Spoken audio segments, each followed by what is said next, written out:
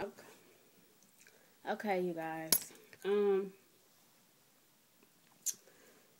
well, I put them together. This is just, I guess, okay, before I get started, I'm not going to go part 6, part 7, part 8 of the spin, spinner tutorial. That's too much. So I'm going to just go part 2 of part 1 of the spinner um, stitch thing. So, before I get started, I lost the um, other strands that I was going to use. So I had to get some new ones.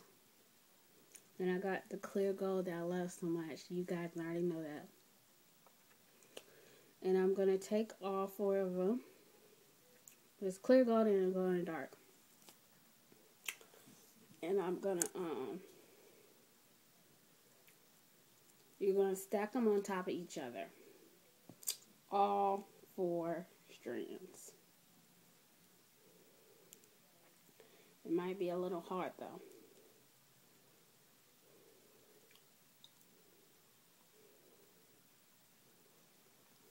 Um,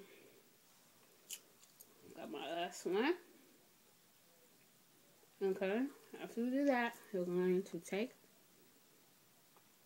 your what you got so far and if it doesn't fit, put something in there that will spread um it apart. We want to put them in there evenly in this little hole right here, just like in this little hole. Okay, so I'm going to take them and slide through this hole.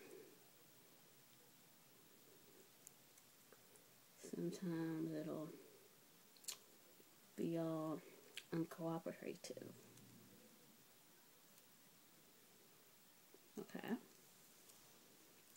Now, before you get started, of course, you want to make sure they're um, even, of course.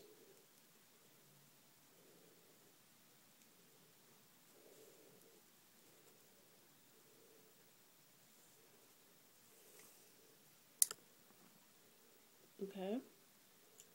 So they're even now. So what you're going to want to do before you get started, for one, you um, take one side and take all the um, strands and in a knot. Sometimes, yeah, it's hard, but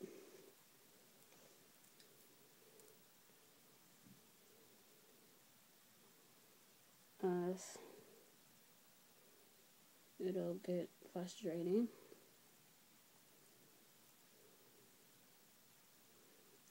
Just like this one just did.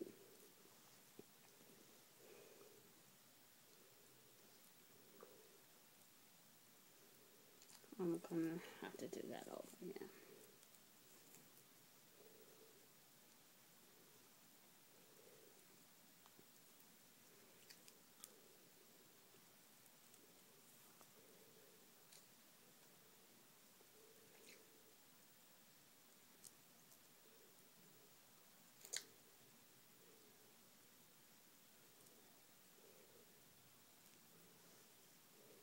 Okay.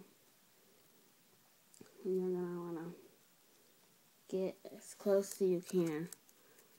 So the reason why you're making this loose knot, you gotta mind, is because you wanna um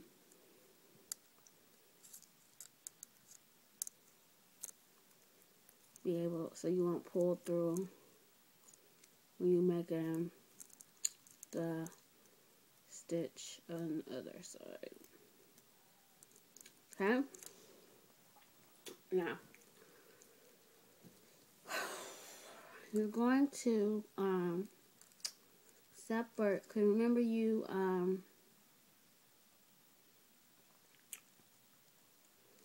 you put them in, you stack them up you are going to take, separate these.